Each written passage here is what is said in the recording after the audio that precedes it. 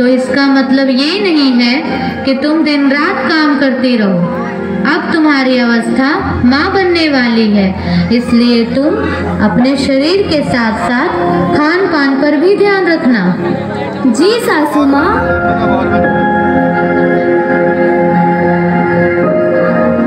सुनो प्रिय तुम्हारे घर में जो बच्चा पल रहा है वह लड़का है या लड़की?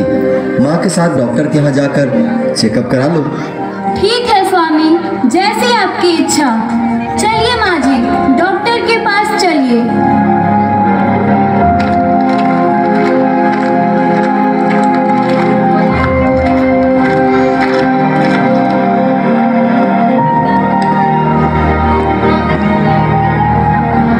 नमस्ते डॉक्टर साहब।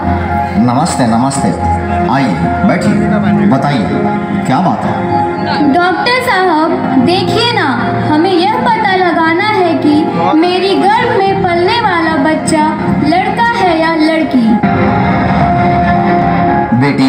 ये कानूनन अपराध है। यह अनैतिक कार्य हमसे नहीं होगा।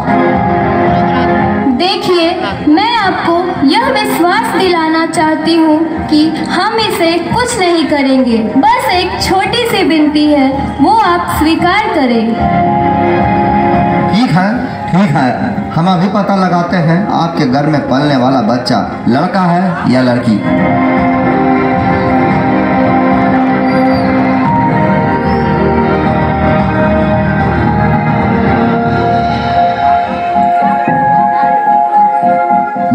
बेटी तुम्हारे घर में एक कन्या एक लक्ष्मी पल रही है।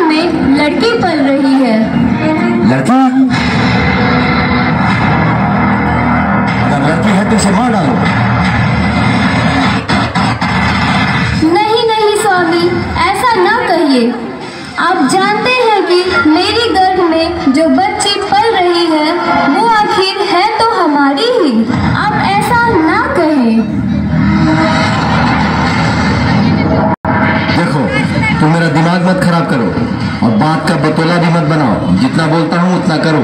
मुझे लड़की नहीं चाहिए। मैंने एक बार बोल दिया, मुझे लड़का चाहिए तो बस लड़का चाहिए। बेटा, तुम यह क्या कह रहे हो? शायद तुम ये नहीं जानते कि इस संसार में नारी का कितना महत्व है। इस पृथ्वी पर मनुष्य की उत्पत्ति नारी से ही आरंभ होती है। ओ ओ मुझे कुछ नहीं सुनना। लड़का चाहिए लड़का। नहीं स्वामी ऐसा मत कहिए। आप मान जाइए। तो ये तुम्हारा आखिरी फैसला है? तुम इस लड़की को नहीं मारोगी तो इसी क्षण मेरे घर से निकल जाओ, वरना मैं तुम दोनों को मार डालूँगा।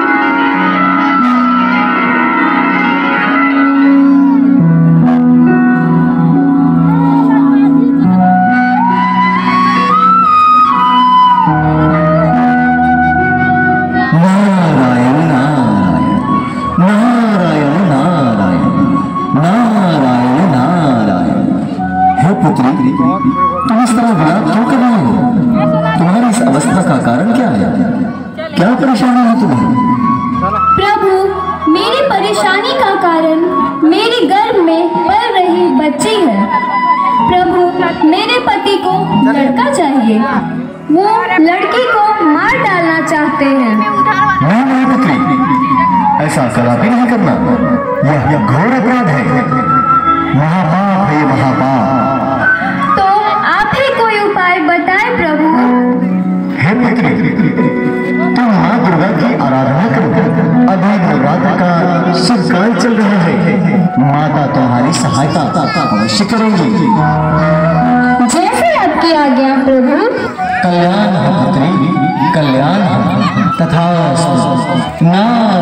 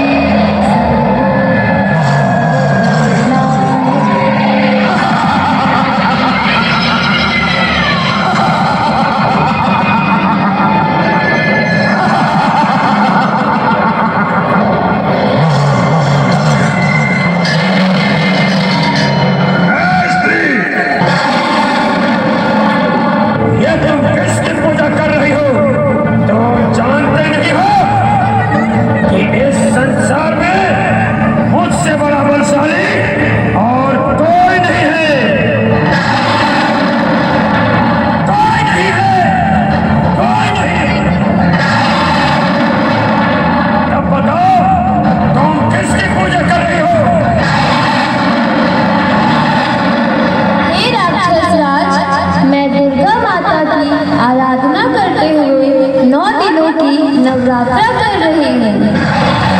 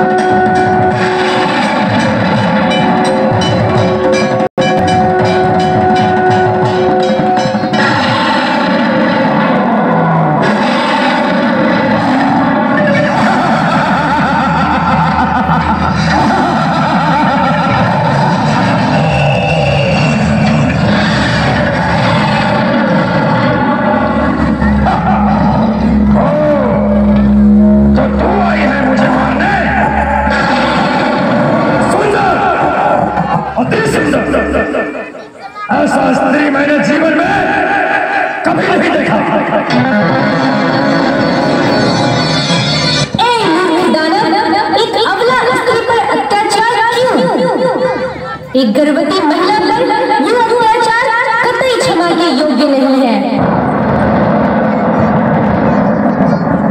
क्या तुम्हें अपनी मृत्यु का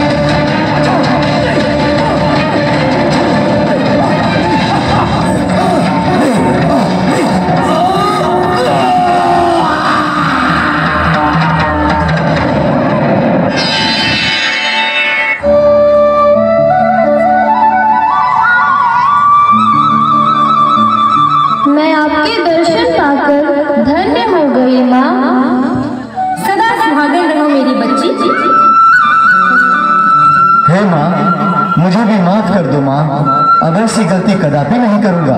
हमें माफ़ कर दो, माँ, माफ़ कर दो। अवश्य, पुत्र, अवश्य।